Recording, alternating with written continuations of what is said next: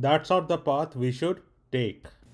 This is LeetCode 124 binary tree maximum sum path. In this question, we are given a binary tree like this and we have to find a path which gives the maximum sum. For example, in this tree, the maximum path will be this, which is 15 plus 20 plus 7, which equals to 42.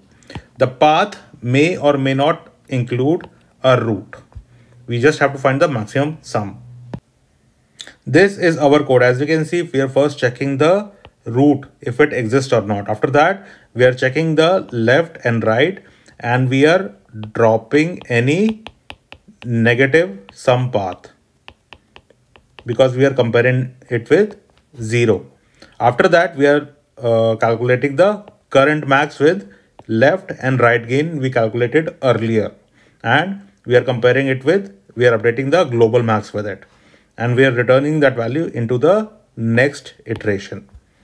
If you have any issues with the code, then please comment in the comment section. If you like this video, then please comment like in the comment section. And for more tips and tricks, please follow my channel Coding Fundamentals.